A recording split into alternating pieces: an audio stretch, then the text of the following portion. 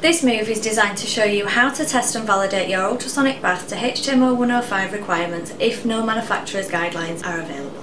As the majority of ultrasonic baths require the soil test to be carried out on a weekly basis, we would suggest that you follow this test schedule where your manufacturers do not provide any recommendations.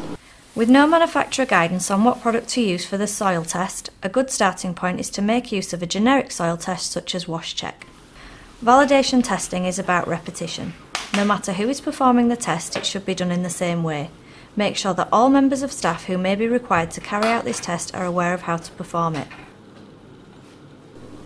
To carry out this test, you will need wash check test strips, a wash check holder, an appropriate cleaning solution, and your ultrasonic cleaner logbook. All these products are available from Isopharm. Before the test, the ultrasonic cleaner will need to be prepared.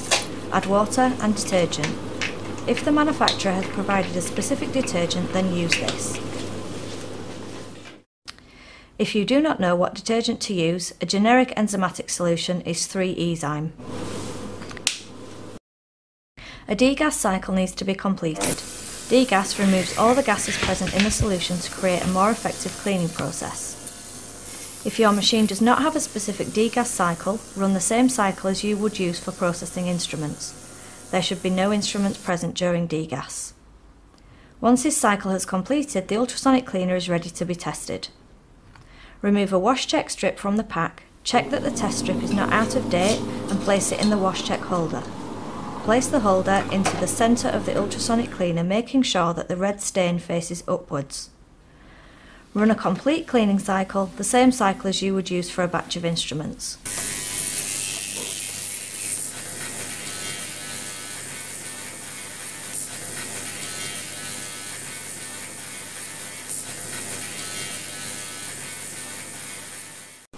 When the cycle is completed, remove the holder from the bath and remove the wash check strip.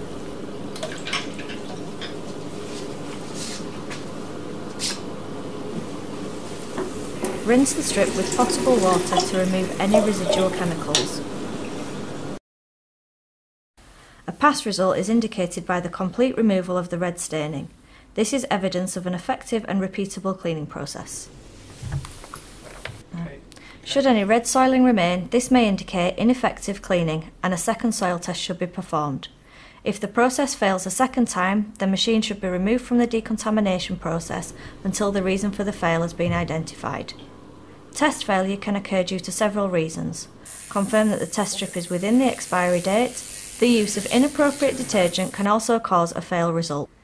The Isopharm range of logbooks provides you with all the record tables you need to comply. In the weekly soil test section, enter the cycle number or the time of the test and that wash check was used. Write the batch number and expiry date and whether the test was a pass or a fail. A signature of who carried out the test completes the record. You can also attach the used wash check as further evidence. If you found this movie helpful, then please feel free to share it with your colleagues. If you have any questions, then you can call the Isopharm Compliance Help Desk. Don't forget to visit our website for CPD and online training.